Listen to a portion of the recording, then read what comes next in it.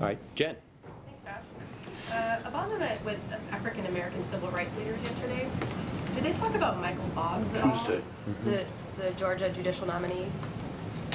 Um, he- the, the president met with a, a group of civil rights leaders a couple of days ago. I think it was on Tuesday.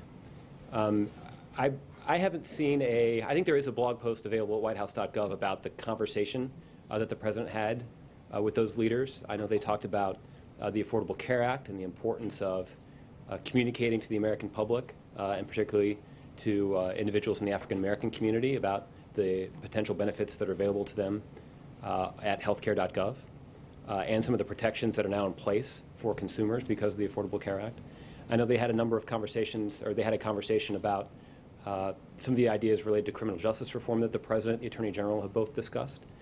Uh, but in terms of specifics, I can't uh, go beyond that uh, in terms of whether or not a specific judicial nominee came up or not. Okay. Um, well, on that note, so no, there's now more than two dozen progressive groups, including NARAL, Pro-Choice America, the Human Rights Campaign, Move On, and the National Organization for Women that are all calling on Obama to pull down Boggs' nomination because they say they're really upset about votes he took as a state legislator on abortion rights, gay rights, and civil rights.